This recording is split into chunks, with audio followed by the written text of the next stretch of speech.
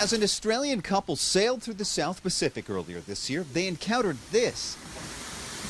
As far as I could see, the sea had turned to this, this uh, field of stone. That stone is pumice from an underwater volcano that erupted near North Tonga. It initially formed a floating raft spanning 150 square kilometers.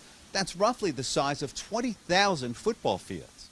If we were standing on the beach, for example, looking at this pumice, it would go to the horizon. It's far denser. Denser? Yep. Scott Bryan and Andrew Fletcher, both from Queensland University of Technology, are studying the raft and tracking its journey That's the pumice raft just there.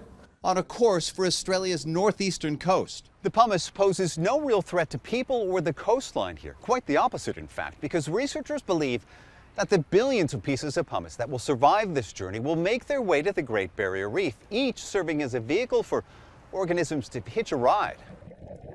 Just last month, Australia's government downgraded the health of the reef, which has lost half of its coral, to very poor. This reef has suffered in the last few years six cyclones, two major coral bleaching events, and various attacks by the predator crown of thorns starfish. So, unsurprisingly, the outlook is that the condition has deteriorated. Uh, so it's very well developed. Bryan says some of the pumice will be carrying pieces of new coral. Bringing billions and millions of individuals in at once to be able to find a new home, add to the existing uh, populations that are here that have suffered over the last few years through bleaching, cyclones in particular, just giving that, that extra boost of new numbers to help replenish and restore the reef.